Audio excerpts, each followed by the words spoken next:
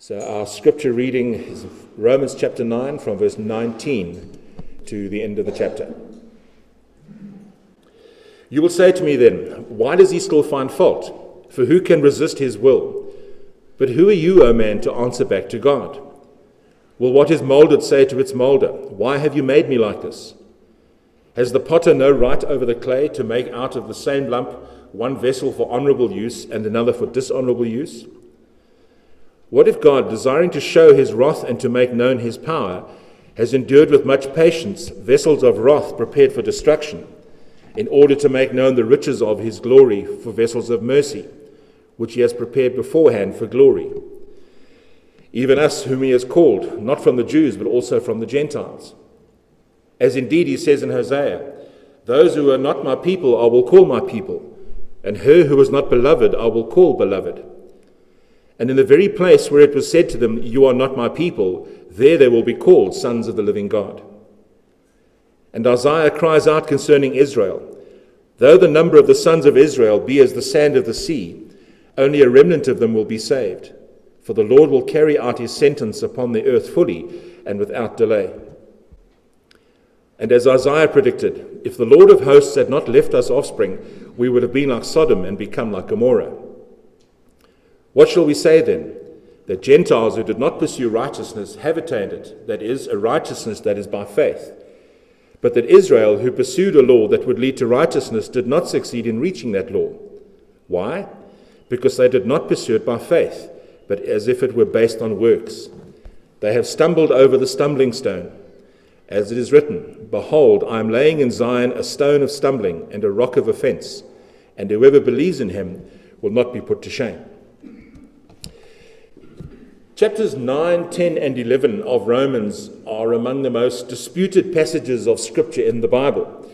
And the reason is that in these chapters, Paul deals with two main issues over which there's been much debate over the years the issue of Israel and the issue of God's sovereignty. Uh, two weeks ago, we ended with Paul's statement in verse 18 when he says, So then, he has mercy on whomever he wills, and he hardens whomever he wills. And having just said that, Paul anticipates another objection which might be made by his readers. So he writes in the next verse, we picked up this morning, You will say to me then, Why does he still find fault? For who can resist his will? A way of paraphrasing that is to say that if salvation is the sole work of God, then what right does God have to condemn those who are not saved? Now, this is a common objection to the teaching of the sovereign will of God, particularly when it comes to the subject of his elect and the doctrine of predestination. However, we need to remember that we do not have a complete understanding of the nature of God. Our understanding of God is limited in many ways, but there are two main ways in which our understanding or, our grasp of Him is, is, is limited. Firstly, in accordance with His sovereign will, God has chosen not to reveal himself fully to us. Although we are given enough of understanding of him and his nature in order to know how we can be saved, we're able to understand the gospel message. And secondly, our understanding of God is tainted by our sinful nature. In our fallen state, we are self centered. And we've all bought into this lie that this life is about us and about what we want. I was sharing with our Bible study group last week that while most of us become more polite as we grow older, the question we continue to ask throughout our lives is, What about me? So, again, we need to be very careful about accusing God of being unfair and unjust. If sinners did receive justice, we would all be in hell. Now, of course, no one likes to hear that truth in, in our what about me world today. But it remains the truth nonetheless. The good news of the gospel is that God has chosen to give divine sovereign grace in the lives of some. So, who are we to question his authority or his right to do so? Paul puts it very bluntly in verse 20 when he asks, Who are you, O man, to answer back to God? And we would do very well to remember the example of Job. In Job 38, verse 2, God asks him, Who is this that darkens counsel by words without knowledge? And he then, he then goes on the, in the next three chapters to ask Job more than 80 questions, all of which are of, with, with much the same theme as Paul's question in Romans 9, verse 20 Who are you, O man, to answer back to God? Now, Job eventually had the wisdom and the humility to recognize that he had no authority over God, nor did he have any right to question the sovereignty of God. And we can learn a lot from Job. And this is in, in, chapter 42, the final chapter of Job, this is his response after being grilled for the previous three chapters. Then Job answered the Lord and said, Now he's quoting the question that God first asked him I know that you can do all things and that no purpose of yours can be thwarted. Who is this that hides counsel without knowledge? Therefore, I have uttered what I did not understand, things too wonderful for me which I did not know. Then again, he quotes God when he says, Hear and I will speak. I will question you and you make it known to me. That was the challenge God made to him. And Job's response is, I had heard of you by the hearing of the ear, but now my eye sees you. Therefore, I despise myself and repent in dust and ashes. In Romans 9, Paul uses the example of how a potter has power over his clay to make of it what he wants. And he uses the same analogy which we see in Jeremiah chapter 18 by arguing that not only is it irrational, but in fact it's arrogant for sinful men to question God's sovereign will. God is sovereign, and he has supreme power over his creation. This gives him the right to do with it as pleases him. He doesn't have to ask, uh, he doesn't have to answer to us or explain himself to us. The truth is that God owes us nothing other than damnation. But in His grace and in His mercy, He has chosen a people for Himself. He is sovereign and He does as He pleases. He does not ask our permission, nor does He seek our opinion. God is the one who created us for His own purposes, and we owe our entire existence to Him. And His unique position of Creator brings with it a divine prerogative to accomplish his purposes with his creation as he sees fit. As his creation, our role is to trust, not to like or dislike his plans. If God chooses to call some to salvation and to leave others in their rebellion to face the, the consequences, that's his right, that's his prerogative. And there's an important point that we need to consider here. God does not create people to damn them. And Paul goes into detail on this and explains it in verse 22. He says, What if God, desiring to show his wrath and to make known his power, has endured with much patience vessels of wrath prepared for destruction? In the King James Version, it speaks of vessels of wrath fitted to destruction. And what Paul is doing here he, he, he places the blame for destruction fairly and squarely on the shoulders of the sinner and not on God. This phrase, fitted to destruction, implies that the vessels themselves choose to be prepared for destruction. They're prepared for destruction by their own sin, their disobedience and rebellion, not by some random decree of God. Because sinners refuse to repent of their sins and turn to Jesus Christ for salvation, it is their choice if they perish. God does not make men sinful, but he leaves them in the sin they have chosen. And Paul in verse 22 also talks of how God endured with much patience vessels of wrath prepared for destruction. By withholding his judgment, he is showing grace even to those who remain under his wrath. Now, God could easily and quite justifiably destroy sinners the first time they sinned. But as he did with Adam and Eve, so he patiently endures the rebellion of sinners rather than giving them what every sin immediately deserves, which is eternal punishment. And as we continue to live under grace, we are given the opportunity to repent, as Paul writes in Romans 2, verse 4. Do you presume on the riches of his kindness and forbearance and patience, not knowing that God's kindness is meant to lead you to repentance? There's an American theologian by the name of Charles Erdman who died in the 1980s. And he wrote this God's sovereignty is never exercised in condemning men who ought to be saved, but rather it has resulted in the salvation of men who ought to be lost. And we need to get that into our heads when it comes to trying to understand God's sovereignty and the way that He chooses His elect. He continues, He says, God does not prepare vessels of wrath for destruction, but He does prepare, prepare vessels of mercy for glory. And Paul makes a sweeping statement in verses 22 through to 24, which in the English Standard Version, King James, and the New King James Version is actually all in one sentence. He says, What if God, desiring to show his wrath and to make known his power, has endured with much patience vessels of wrath prepared for destruction, in order to make known the riches of his glory for vessels of mercy, which he has prepared beforehand for glory? Even us whom he has called, not only from the, not, not from the Jews only, but also from the Gentiles. There's that important phrase there prepared beforehand for glory. The point is that God not only shows his glory by saving his elect, but he receives as much glory by displaying his wrath and his righteous anger at the unrepentant. Now, most of us find it hard, if not impossible, to accept such a truth. But just think about this for a moment. God is absolute in his majesty, his holiness, his mercy, his grace, his justice, his wrath, and his fury at sin. He is perfect in all of those things. God is glorious in every facet of his nature. And he does nothing which is contrary to his nature.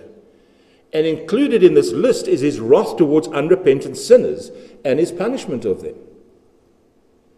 There are some extremely hard truths in Romans chapter 9, which is why Romans 9 through 11 have created so much debate and conflict down the years. But as 2 Timothy 3:16 and 17 says, all scripture is breathed out by God and profitable for teaching, for reproof, for correction, and for training in righteousness, that the man of God may be complete, equipped for every good work. All scripture, including the verses that we haven't underlined in our Bibles, so, yes, God receives as much glory from displaying his wrath as he does by demonstrating his grace to his elect. Now, to the sinful mind, this seems like such a contradiction, and that word unfair kind of pops into our minds again.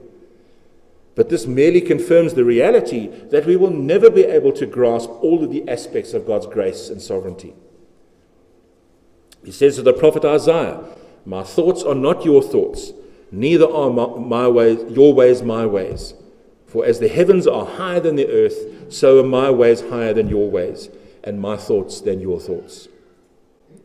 Yet he shows grace and mercy. Have a look at Psalm 103 from verses 8 to 12. The Lord is merciful and gracious, slow to anger, and abounding in steadfast love. He will not always chide, nor will he keep his anger forever. He does not deal with us according to our sins, nor repay us according to our iniquities. For as high as the heavens are above the earth, so great is his steadfast love toward those who fear him. As far as the east is from the west, so far does he remove our transgressions from us. He does not deal with us according to our sins, nor repay us according to our iniquities. Instead of questioning God and his motives, we should instead be grateful that He has not dealt with us according to our sins or repaid us according to our iniquities. Because if He did, we would receive nothing but His wrath. The wages of sin is death, eternal death, because we have sinned against the eternal God. The punishment of that sin is also eternal. And if we die in our sins, we will rightly and justly go to a very real place that the Bible calls hell. That's what I deserve. That is what you deserve. Instead, in our world today, we keep hearing these calls for justice in every aspect of society. It's all about my rights and what I want and what I need. What about me is all we hear. But trust me, you don't want justice. You don't want justice because if you did, all we would get would be hell. The mere fact that God has chosen to show mercy to some is enough reason for us to be thankful that He has chosen us to be objects of His grace. And instead, we cry out that He's being unfair. There's no real polite way to put this, but just who do we think we are to accuse God of being unfair or being unjust? How dare we, sinners who have rejected God, even think of questioning Him and His sovereign will? Now, these are hard truths and they're offensive to the sinful mind, but they remain the truth. And we need to pray that God would grant us the faith and the wisdom to see that. Remember, we don't know who God's elect are. You will know that you are one of his elect when you feel him drawing you to himself as your heart accepts the truth of the gospel. But our task then is to proclaim that same gospel to a lost and a dying world. We looked at this a couple of weeks ago. Anyone who wants to be saved can be saved, and the instrument that God uses to draw his elect to himself is the proclamation of the gospel of Jesus Christ. And as we've seen and heard many times, we will never fully understand God and his ways.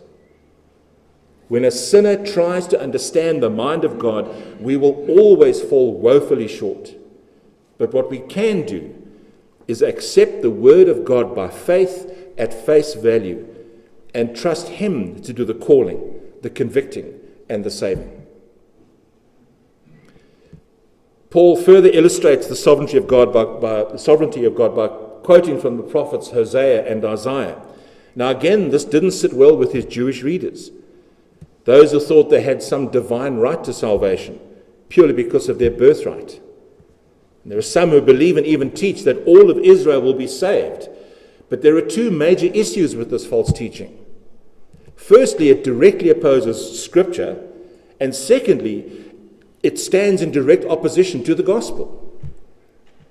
Faith in Christ alone is what brings salvation, both to the Jew and to the Gentile.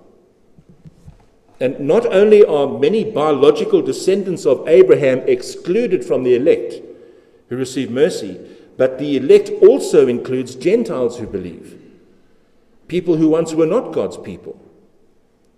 Yet, despite Israel's widespread unbelief and, and rebellion against him, God promises to preserve a remnant for salvation among ethnic Israel. He says, as indeed he says in Hosea, those are, these are speaking of the Gentiles, those who were not my people, I will call my people, and her who was not beloved, I will call beloved. And in the very place where it was said to them, You are not my people, there they will be called sons of the living God. Those are the Gentiles that God has chosen. And he continues Isaiah cries out concerning Israel Though the number of the sons of Israel be as the sand of the sea, only a remnant of them will be saved. For the Lord will carry out his sentence upon the earth fully and without delay. And as Isaiah predicted, if the Lord of hosts had not left us offspring, we would have been like Sodom and become like Gomorrah. Those verses in particular stand against those who say, well, all of Israel will be saved because they're God's chosen people. That's not what Scripture tells us. And as Paul quotes Hosea and Isaiah, he again emphasizes that were it not for the pure, simple grace of God, no one would be saved. We mustn't forget that because of the original sin passed down to us, we are born with this death sentence hanging over us. But it is the undeserved grace of God offered to us which saves. It's the grace of God which intervenes and calls sinners to salvation, whether they be Jews or Gentiles. And this is Paul's closing argument in chapter 9. Listen very carefully to how Paul draws his readers from making this distinction between the saved and the lost. He draws them away from the issue of birthright to what really matters. What really matters is faith in Jesus Christ and being clothed in his righteousness. He says, What shall we say then? That Gentiles who did not pursue righteousness have attained it. That is a righteousness, righteousness that is by faith. But that Israel, who pursued a law that would lead to righteousness, did not succeed in reaching that law. Why? Because they did not pursue it by faith, but as if it were based on works. The righteousness which is necessary for salvation is given exclusively to those who believe the gospel message and on nothing else. Salvation is by grace alone, through faith alone, in Christ alone. So, how can it be then that some Gentiles who did not know God receive salvation, while at the same time some Jews who knew His word are not, are not receive, do not receive salvation? Why is that? By divine sovereignty, God's choice, God's prerogative. When the gospel of Jesus Christ was, was preached to the Gentiles, they were convicted of their sin and turned to Christ by faith. Many of the Jews who saw themselves as righteous already did not repent of their sins and turn to Christ. But all who come to him by faith in the gospel message are declared perfectly righteous by God. You see, the key is Jesus Christ. It always has been and always will be. It is all dependent on the finished work of Jesus on the cross and nothing else. So when Paul asks this question, why, in verse 32, he's asking on behalf of the Jews, why have so many missed out on salvation? And the answer that he gives is because they wanted to please God by their own righteous works. But that will never do. And then chapter 9 closes with Paul quoting from Isaiah 28 and Psalm 118. And he says, They have stumbled over the stumbling stone. As it is written, Behold, I am laying in Zion a stone of stumbling and a rock of offense, and whoever believes in him will not be put to shame. Divine sovereignty and human guilt are what Paul focuses on here. By God's grace and his sovereignty, Gentiles who did not seek God's righteousness have now received it through faith in Jesus Christ. But Israel, as a people, as a nation, has failed to receive it because they mistakenly believed that they had a legal right to righteousness. To those Jews seeking to establish their own righteousness on the basis of the law, Jesus Christ is the stumbling stone. Salvation only comes to those who respond to the call of God by faith. The problem with the Jews was that they simply could not see how Jesus, a man who was crucified, thus making him cursed, how he could ever be their Savior. And this is what Paul meant by likening Jesus to a stumbling stone and a rock of offense. The gospel has always been offensive in the sinful world. But those who understand that they are sinners and that Jesus died for their sins don't stumble over this truth Instead, they fall down before the cross and are saved. And as Paul continues into, into chapter 10, which we'll come to next week, he reinforces his teaching that it is the gospel alone which has power to save. I want to close with what he says in 1 Corinthians chapter 1, from verse 20. Where is the one who is wise? Where is the scribe? Where is the debater of this age? Has not God made foolish the wisdom of the world? For since in the wisdom of God the world did not know God through wisdom, it pleased God through the folly of what we preach to save those who believe.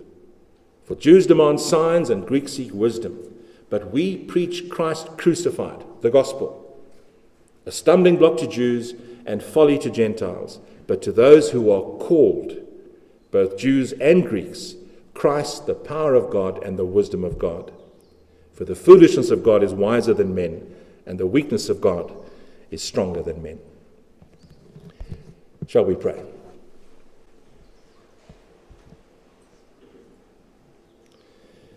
Lord, this whole concept of your sovereignty and your absolute will it continues to challenge the sinful mind. And we confess, Father, that particularly when we read passages of Scripture like Romans chapter 9, that we are challenged. But as Paul said in verse 20, who are we to talk back to God?